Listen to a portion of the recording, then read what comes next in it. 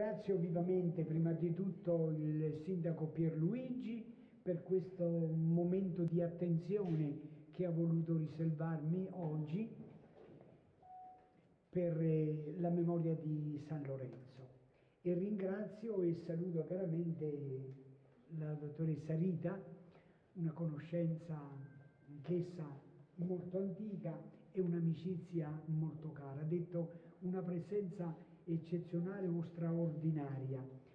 Io credo fra tutti quelli che sono qui di essere il più antico abitatore di questo luogo, perché proprio qui, in un anno ormai eh, tanto remoto, nel dicembre del 1933, proprio in quella prima cappella, quando si guarda dall'altare navata della chiesa sulla sinistra, che era, aveva tutto un pavimento cosmadesco, era tutta affrescata, in, nel dicembre del 1933 lì hanno celebrato il matrimonio mio padre e mia madre, proprio qui a San Salvatore Maggiore. Quindi credo che mi competa un qualche diritto di cittadinanza in qualche, in qualche modo.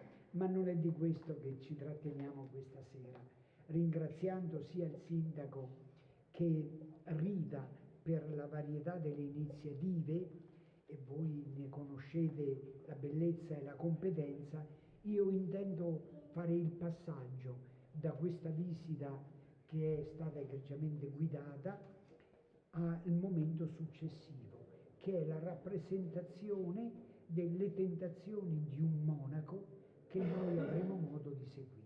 Ma come mai in questo luogo una rappresentazione del genere di un testo che risale all'anno 1000 ed è di un monaco, Odilone di Sant'Ermanno, e perché? Certo, il trovarci in un luogo abbaziale è una forte ispirazione, perché i luoghi, anche col passare dei tempi, delle stagioni, delle vicende che la storia ci presenta, conservano sempre una loro vocazione nativa. E questa è stata un'abbazia, l'abbazia di San Salvatore Maggiore, fondata nel 735 e quindi immaginiamo, ecco, eh, il percorso, siamo nell'ottavo secolo.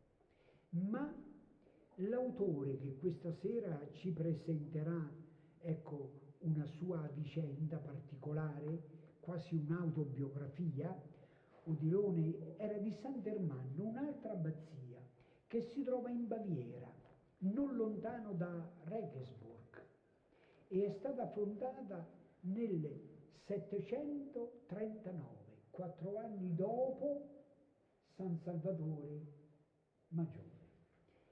Lì questo monaco è entrato nel 1032, è entrato, direi, portato dal suo spirito di dedizione, di avventura, anche di giovinezza, un po' ecco, di intemperanza, lo sentiremo nello snodarsi della narrazione. Ed entra in quell'anno 1032 quando, in quel tempo, forte era la visione millenarista della storia. Nel libro dell'Apocalisse era scritto che quando si compiranno i mille anni la storia si concluderà. E i mille anni più i 33 della vita di Cristo erano stati scelti come l'anno di questa conclusione. Bene, Odilone entra l'anno precedente e diventa monaco. Una vita generosa all'inizio, una vita tormentata, avventurosa, che lo fa entrare in crisi ebbe difficoltà notevoli, soprattutto con l'abate e con il vescovo di Regensburg, per cui lascerà l'abbazia di Sant'Ermanno e si regherà a Fulda. Fulda è il luogo dove l'evangelizzatore della Germania, Bonifacio, è sepolto, e dopo aver fatto la sua grande opera di evangelizzazione ha costituito il cuore della esperienza religiosa tedesca. Lì rimane quattro anni, poi matura ancora di più e torna a Sant'Ermanno e scrive diverse opere, la vita di Bonifacio, la vita di San Gregorio, la vita di San Magno, eccetera. Ma scrive anche un'operetta che è De tentazioni spirituali cuius da monachi, la tentazione spirituale di un monaco. La tentazione. Noi sentiremo una narrazione avvincente, da un punto di vista scenografico particolarmente, almeno a mio parere, assai suggestiva, ma è la tentazione. Quando noi sentiamo questa parola, le tentazioni, pensiamo a molte cose, a una pluralità. Il Vangelo, laddove Gesù ci insegna a pregare, dice non ci abbandonare, cominceremo a recitarlo con la nuova traduzione dal primo di settembre, non ci abbandonare alla tentazione, al singolare, apotupairesmu, per rismos è la tentazione in greco, è al singolare. Perché? Perché le tentazioni non sono quelle marginali che accompagnano l'esistenza, ce n'è una di fondo. E questo monaco si interroga, ma Dio dov'è? Ma Dio perché? Ma Dio chi è? E intorno a questo interrogativo gioca tutta la sua esistenza, quella pregressa, quella che lo tormenta e quella verso cui guarda. Ed è una narrazione affascinante.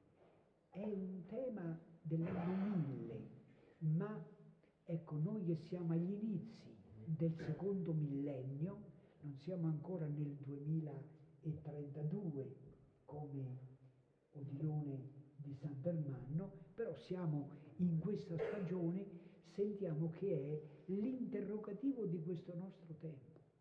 Il nostro tempo non è un tempo in cui la dimensione religiosa scompare, non c'è più neppure la ostilità verso il fatto religioso, ma c'è questo interrogativo radicale, ma Dio c'è? Mercoledì scorso e l'altro Papa Francesco, facendo le catechesi sui comandamenti, ha parlato della crisi del nostro oggi che è l'interrogazione su Dio, in cui Dio non è l'avversario, ma è il superfluo, è l'insignificante, perché la nostra cultura ci porta a organizzare una esistenza, quella personale ma anche quella collettiva, come se lo dicevano già nel 1500, ex Deus non daretur, anche se Dio non ci fosse. Un monaco, quindi un uomo che sceglie Dio, perché dice San Benedetto nella sua regola al capitolo 58, può entrare in monastero soltanto colui che cerca veramente Dio. Si revera Deum querit, dice, se cerca Dio. Bene, questo monaco Dio lo ha cercato ed entra in crisi. Ecco la sua tentazione e si interroga. La narrazione scenografica, ma in particolare narrativa di questa eh, operetta è di una suggestione straordinaria. Noi l'accompagneremo. Io ne ho assistito ad una rappresentazione, ma mi gode l'animo di poterla riascoltare perché è una interrogazione profonda, non è superficiale, non ci lascia emozioni tranne che quelle che toccano il midollo della nostra vita. Ecco, io ringrazio chi ha preso questa iniziativa, quanti e nel testo e nella scenografia e nella esposizione ci arricchiranno di questo dono e faccio a voi l'augurio che ecco, questo sole che tramonta sia anche un sole che nasce. Questo che vediamo tramonta, ma nei nostri cuori c'è sempre bisogno di un eh, sole che sorge. La notte, questa notte di San Lorenzo, noi la dedichiamo alle stelle che cadono. Io vorrei che diventasse un'aurora anche per quanti frequenteranno questo luogo e cercheranno di coglierne perché ci sono delle voci nella storia che vengono a risuonare una volta, la cui eco non tramonta mai. Quella che questa sera il testo che andremo ad ascoltare e a vedere e a sentire mi pare che sia proprio una di queste. Auguri e buon ascolto.